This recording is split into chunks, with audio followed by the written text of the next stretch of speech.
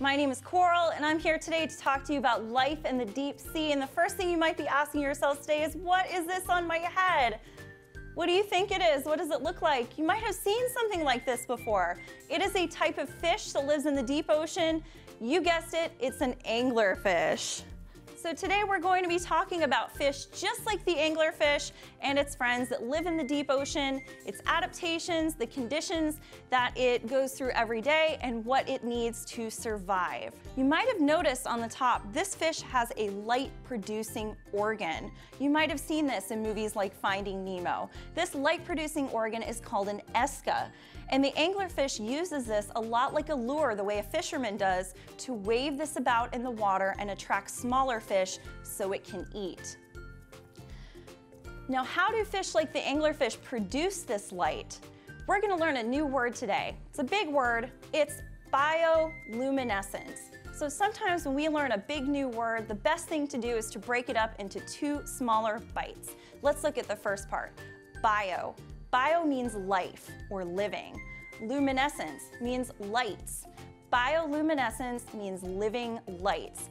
And many different kinds of animals in the deep sea use bioluminescence for their everyday lives. What are animals like the anglerfish and other bioluminescent animals trying to do when they flash their lights? They're trying to communicate. They're talking to one another. Imagine you're in the very deepest parts of the ocean. Close your eyes as tight as you can. Imagine that darkness at the bottom of the ocean.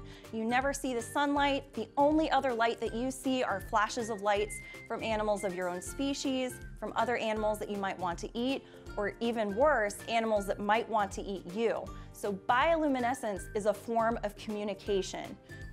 So in order to show you how fish like the anglerfish and the lanternfish communicate by light, let's play a little game. You can play along at home with a small flashlight. What I'm gonna do is I'm gonna give you a set of instructions only using my flashlight and you're gonna play along at home. First of all, the rules. If I flash the light one time, you're gonna jump up and down. If I flash the light two times, you're gonna spin around.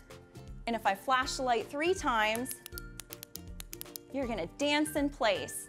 Are you ready? Let's go. Great job.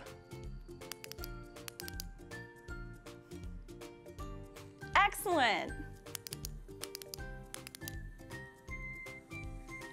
Awesome. We all did a great job communicating with light, just like bioluminescent organisms do in the deep ocean. Now you might be wondering, how do scientists know so much about the deep sea? It's not exactly easy to get to the deepest parts of the ocean, but using technology like this, we're getting a better idea of what lives at the deepest parts of our ocean. I'm holding what's called an ROV. It stands for Remotely Operated Vehicle. And essentially what this is, is a little submarine or submersible.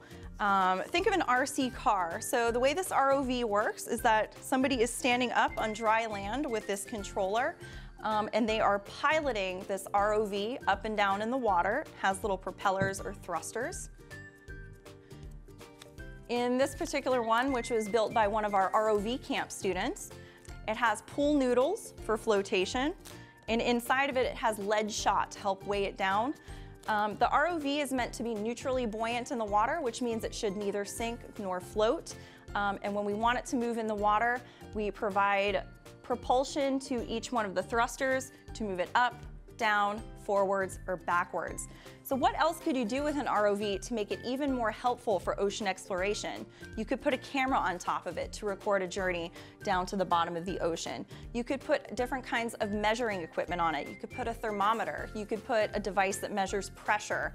Um, you could even put devices on there used to collect samples of organisms uh, or plankton that are found in the ocean. So there's a lot of different things you can do with ROV technology.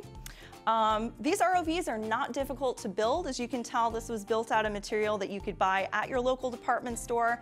Uh, you can find instructions online, and with a little bit of knowledge in electronics, programming, you yourself could build one of these.